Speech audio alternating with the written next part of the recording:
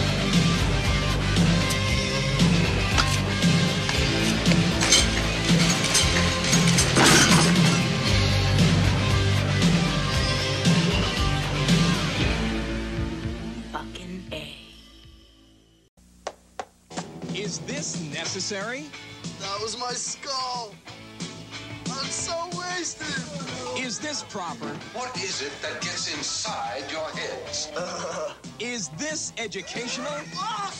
No, but it sure is fun. Hey, bud. Let's party. See Fast Times at Ridgemont High, where only the rules get busted. Rated R.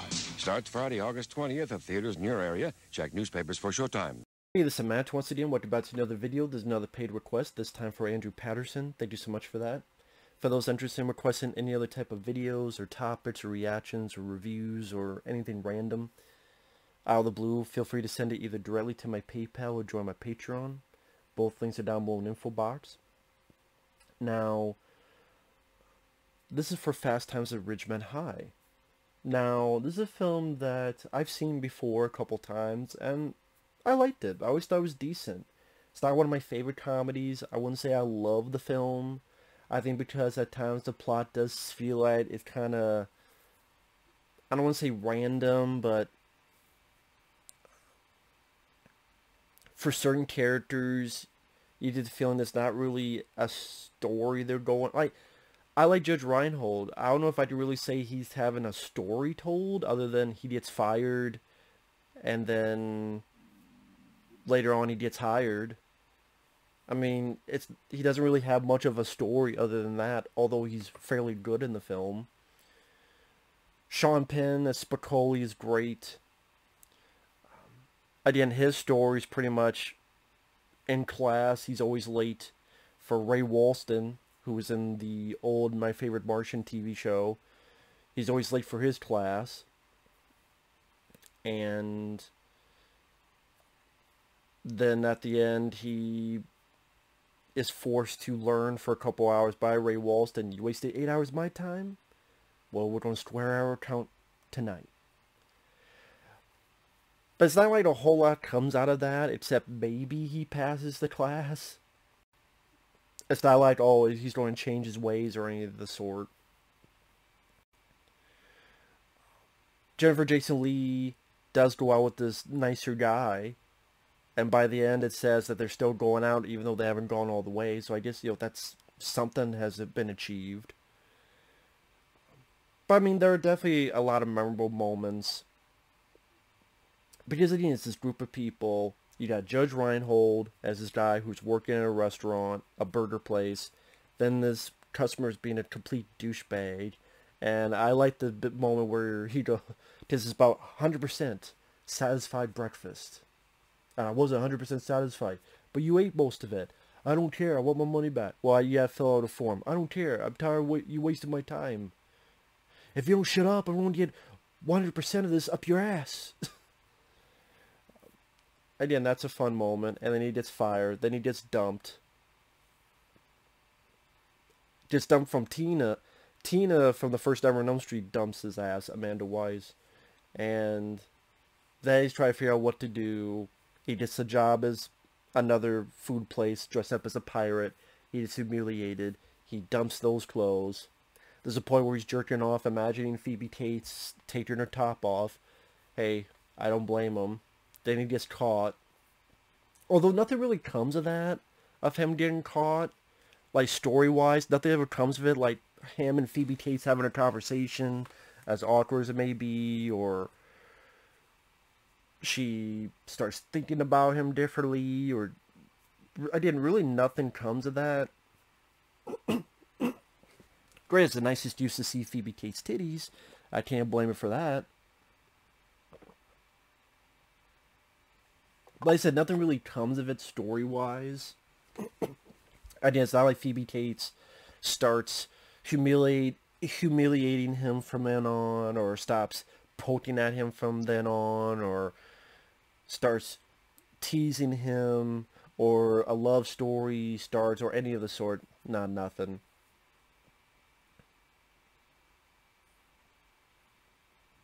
Uh, but the cast do a great job.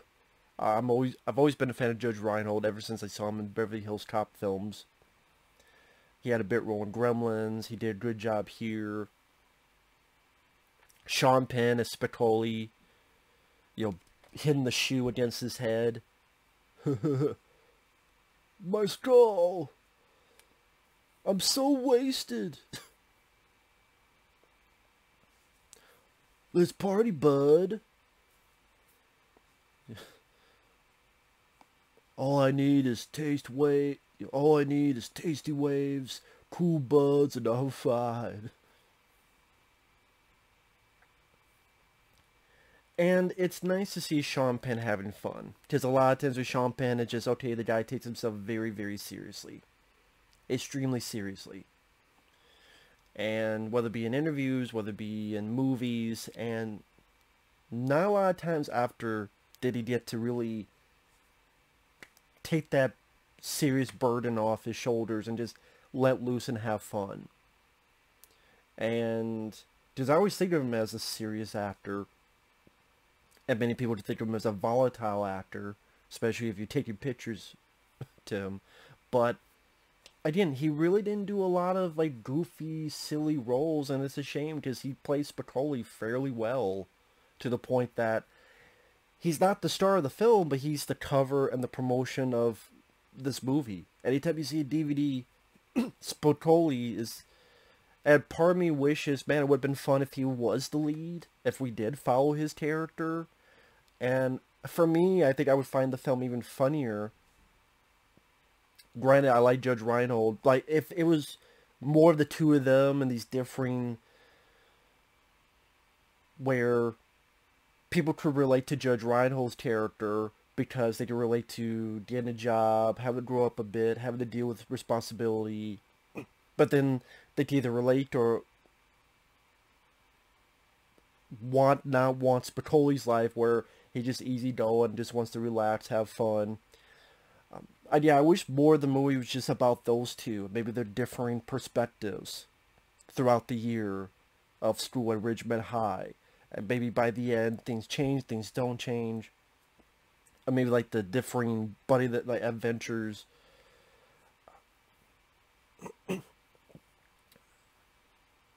Because I, you know, I like Jennifer Jason Leigh. I don't mind her story, but if someone were to tell me what's the least interesting aspect, it would be her story. I didn't hate it because I like Jennifer Jason Leigh. She was in the original The Hitcher. She's 15. She loses her virginity because she lied and said she was 19. And then the guy doesn't call her back. Then she gets with this other guy, which I didn't mind this actor, Robert Romanus. Romanus. Robert's the scalper for tickets. He thinks he's a ladies' man. I thought that actor did a good job.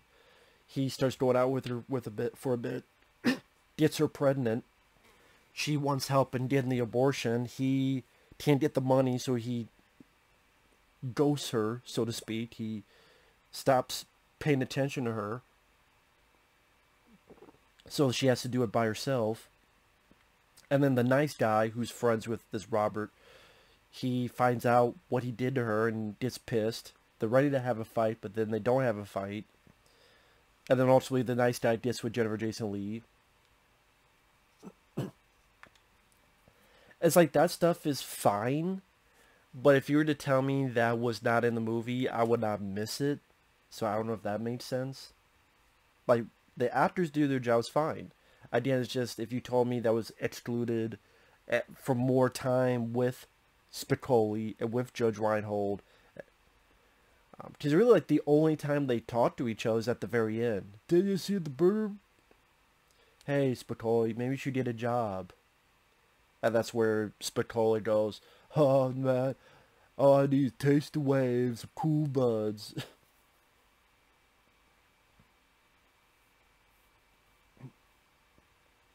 And the stuff with Spicoli in class, there's some fun stuff, like Ray Walston tearing up his little form and him just going, you dick!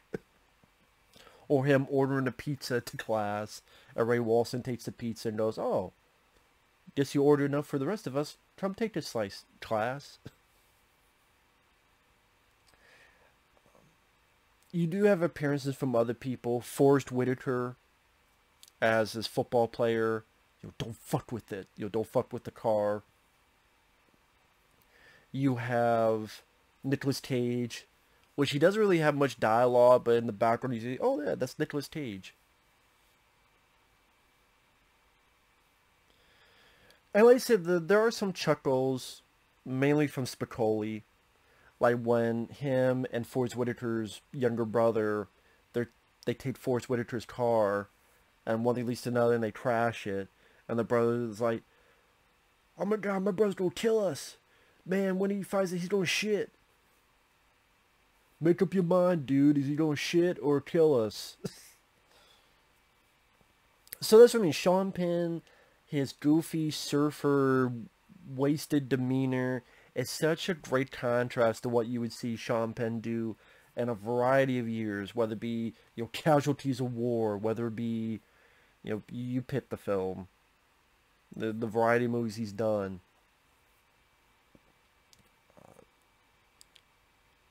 yeah, it's sad though. It just he played it fairly well. It would have been nice to see him do this.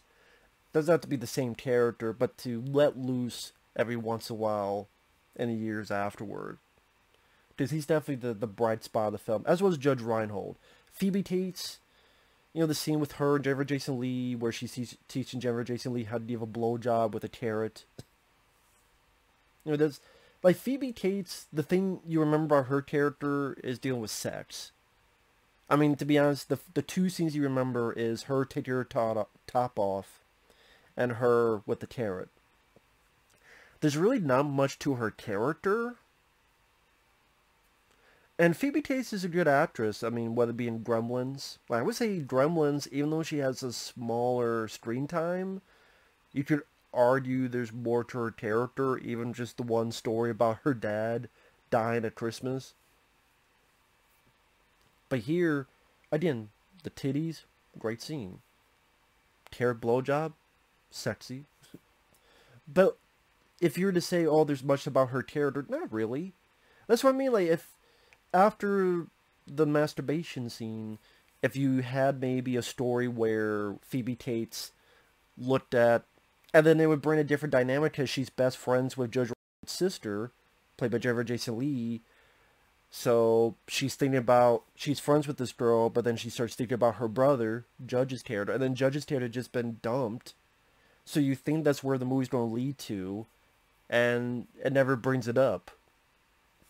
So I thought that was a bit weird. It's directed by Amy Heckerling, who would go on to work on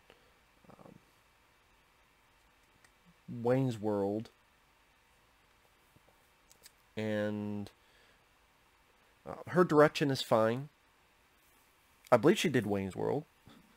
I could be wrong on that, but the direction this is fine. Great use of a soundtrack. You got Tom Petty, Oingo Boingo, The Go-Go's, The Cars. I mean, it starts with, we got the beat, they got the beat, yeah, they got the beat. And the, the acting is natural. There's a natural demeanor to the actors. I didn't feel anyone off, poorly acting, hamming it up. They all seem natural what they were trying to do. I think that is part of the appeal of Fast Times at Ridgemont High is these actors being natural and what their their characters are supposed to be. And like I said, I don't mind the guy who's the stelp who's stelping tickets and Jennifer Jason Leigh and but I'm just saying I wouldn't have minded if we saw less of that and more of Spicoli. Like, other than being in class and a little bit with the car, you don't see him a whole lot outside of school. I mean, they bring up the mall because that's where some of these characters work. I'm trying to figure, like, maybe show Spicoli more at the mall. Maybe an early version of Mallrats where him and these guys just hang out at the mall and do whatever. I don't know, I just like I said, I like the film, but just something about where I don't love. Again, the whole like Jennifer Jason Leigh and that whole storyline, the actors are fine, but I would say they're the least interesting parts to me in the movie. I did Phoebe Cates, she's beautiful. I just, I just wish there was more to her character. Judge Reinhold and Sean Penn, I would say those are the best parts, and the soundtrack are the best parts of the movie. But even, again, Judge Reinhold, there's really not a whole lot to his character if you look into it. It's just, I got fired, I did another job, I quit, I did another job at the end, it gets robbed, I throw coffee in his face, I'm going to be made manager. That's really his character is the job portion.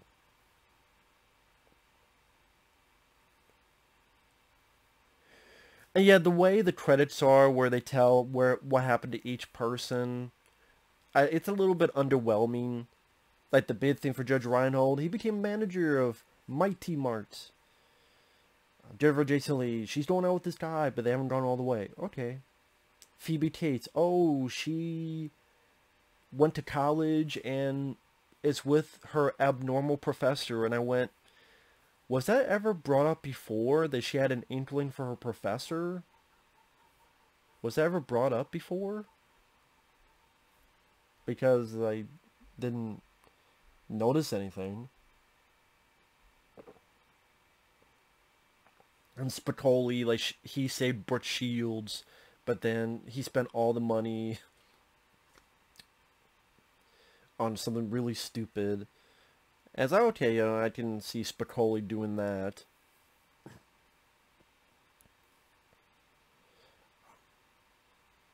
Yeah, again, it got some chuckles out of me, mainly from Sean Penn's character. I don't mind the way it's filmed, that early 80s look and feel to it. You know, the mall, seeing remnants of the mall, the arcades, the food courts, nostalgic because malls are a dying breed. Malls are pretty much extinct. They're pretty much extinct. Although if I want to watch this type of comedy, I would just rather watch Mallrats or Clerks. Because I, I do find those films a bit funnier compared to this. But yeah, the cast do their jobs well. The soundtrack is fun to listen to. It's only 90 minutes long so it doesn't overstay its welcome. So overall, yeah, decent movie, decent flick. Don't know what else to say other than uh, thanks for watching, take care, and we'll see you guys later. Bye-bye.